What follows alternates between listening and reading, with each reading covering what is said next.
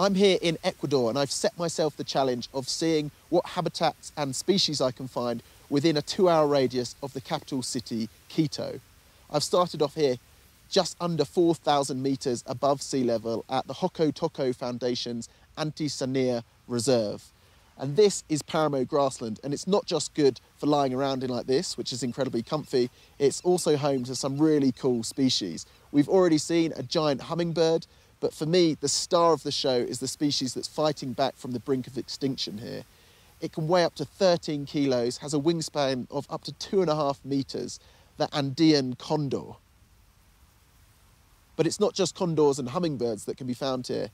There's also rabbits grazing around and short-tailed deer. The little pools that we stumble across are full of Andean teal and Andean coots. There's the carunculated caracara, which I've already seen devouring a rabbit. The Ecuadorian hill star, a tiny little hummingbird that makes its home up here. And the black chested buzzard eagle.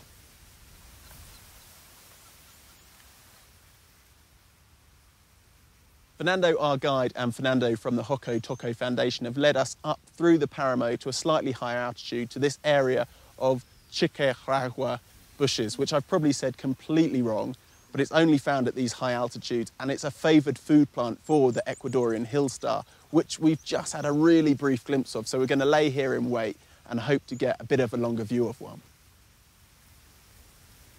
And with a little bit of patience, we soon got those views.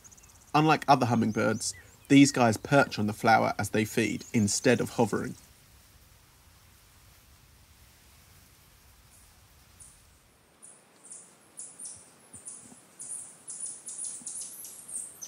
From the Andes at 4,000 metres just southeast of Quito to here, the cloud forest at around 2,000 metres just northwest of Quito, and again within my two hour limit and this is one of my favourite habitats, but as the name suggests, it can be quite tricky for photography. There's dense tree cover, but also it's almost constantly shrouded in cloud.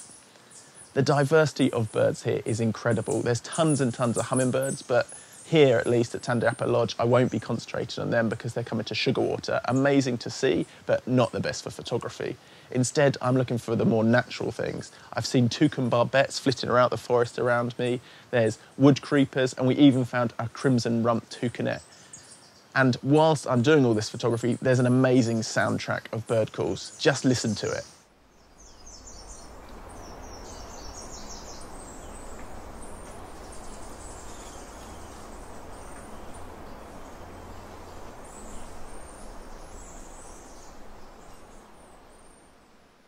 When you make a lodge in the middle of the cloud forest, of course, the animals are going to try and take it back. And behind me here in this block of a couple of rooms, one of the most peculiar birds of the cloud forest, the cock of the rock, which hopefully we're going to track down at a lek at another point, is nesting in a windowsill.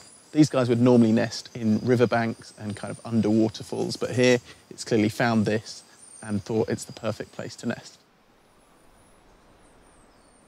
We had that cock of the rock nesting at Tandayapa Lodge, and now we've come here to Paz de las Aves, where we're starting the day with probably the most insane lek you can find, a lek of cock of the rocks. The males come here every single day and flap their wings, nod their heads off, all with the aim of impressing a female, and it's all going on behind me here.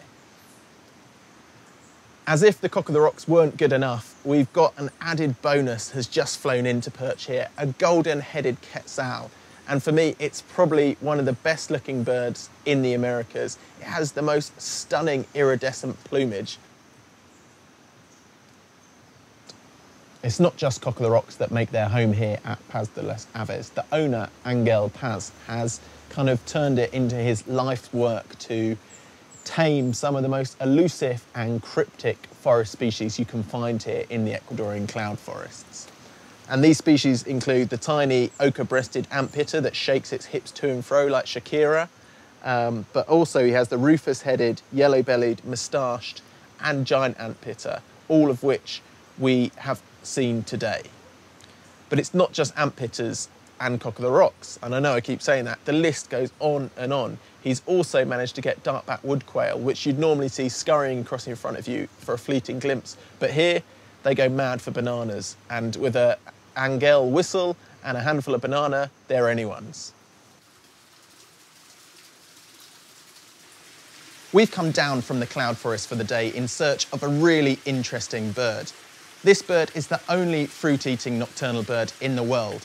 And to find that fruit, they have to be real endurance athletes, covering up to 75 miles per night in search of the food. The bird I'm talking about, oil birds. And there's one just above me here, and they're dotted all about this cave system.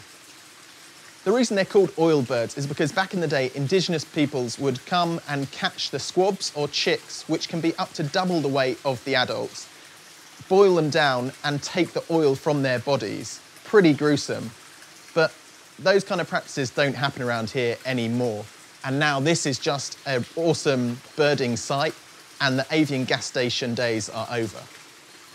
For me, birds are incredibly interesting, but wherever I go in the world, there's always one bird I want to see. And on this trip in Ecuador, the oil bird was that species for me. After that great encounter with the oil birds at Cueva Los Tayos, we're now heading back up into the cloud forest. But en route, we've stopped off here at Alambi, which is famed for its hummingbirds. But on the river here, which is actually the Rio Alambi, you can also find white-capped dippers. Now, these dippers I've had the briefest of glimpses of and I just can't get anywhere near them. They're very different to the European dippers I've worked with in the past. So I'm going to call it a day here and head up into the clouds.